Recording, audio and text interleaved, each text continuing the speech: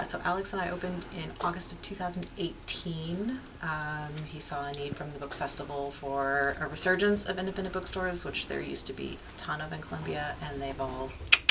So he gave me a holler. We had coffee, and long story, very short. This happened. it's the best job I've ever had.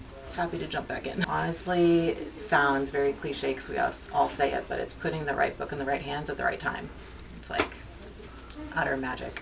a lot of bookstores tend to be like very quiet, browsy places, little library-ish. We are a little more enthusiastic here, uh, so we really like engaging with with the younger crowd and finding out what they're into and helping guide them to new discoveries. The fact that there wasn't an independent bookstore selling new books in Columbia at that time was just weird. The great thing about a shop like this, and as small as we are, is that we have a lot of fun just coming up with new ideas, just like crazy stuff, and um, and just continuing to do that, continuing to put books into people's hands, and it's I mean.